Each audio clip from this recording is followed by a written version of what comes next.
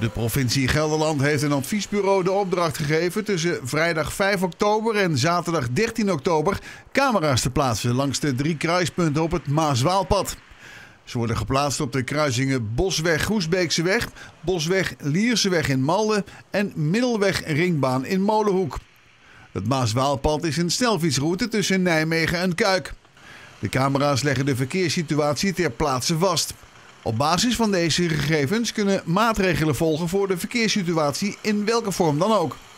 Camera's registreren geen kentekens of snelheid van het verkeer, maar uitsluitend de verkeerssituatie gekoppeld aan dag en tijdstip.